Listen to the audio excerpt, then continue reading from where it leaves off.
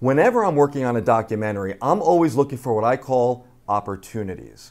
Well, what's an opportunity? Well, I'm looking for a setup that's used multiple times throughout the film so that I can slow down and really fine tune that image. And once I've spent a little bit of time on it, I can reapply that look over and over again.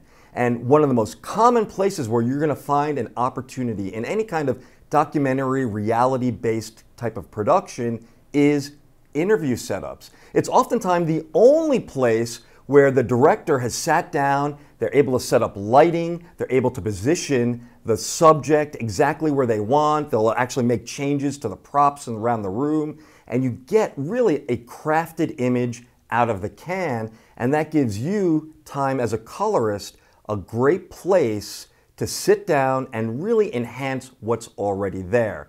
So let's take a look at shots 12 and 22, and this is a perfect example of an interview being used multiple times.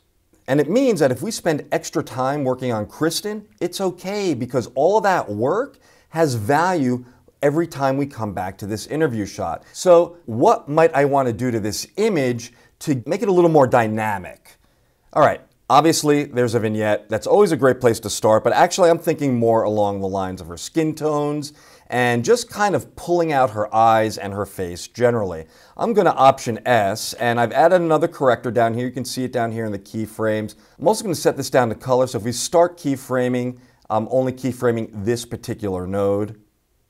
And let's go ahead, add a shape, and I'll use the control surface to quickly isolate her face, soft, I'll make it a little small, and I'm going to make sure I'm on the first frame of this shot, and let's go ahead and track forward.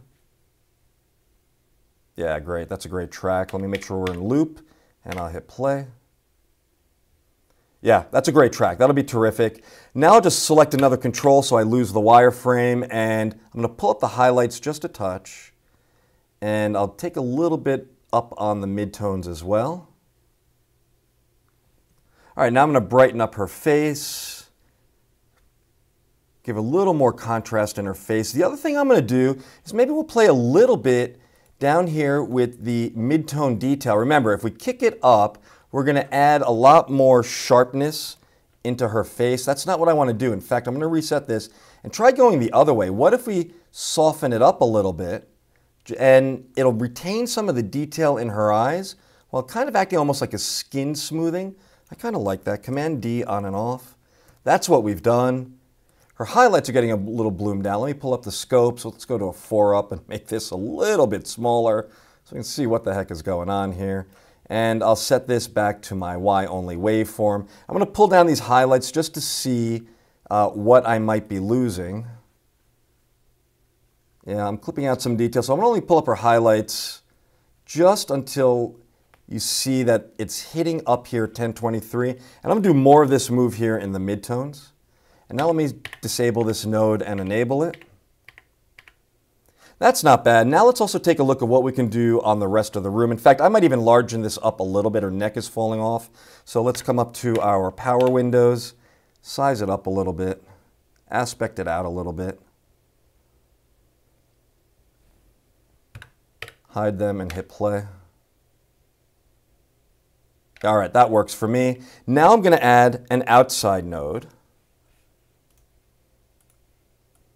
And let's take a look, what might we want to do on the rest of the room? Of course, we could do the classic vignette thing, drop this down a little bit, brighten up the highlights a touch. I'm really making a big move on this.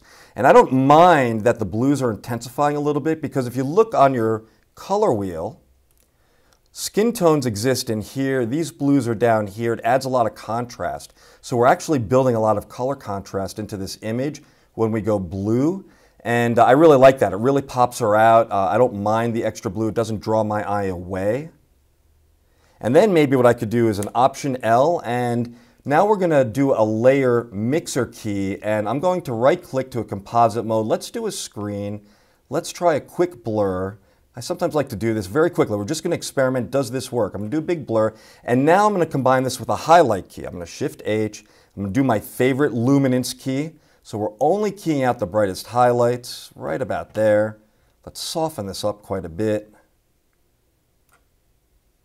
Tighten it up just a touch, Shift H. And now if I turn this node on and off, remember it's tough to see a before and after on a, on a node feeding into a layer mixer. We have to come into the key output, set it to zero, set it to one. Yeah, I like that. So we started from where? Let's version this out. Let's go ahead and delete and delete and delete. So this is where we started after our base grade, and now I'm going to command N, and this is where we ended up.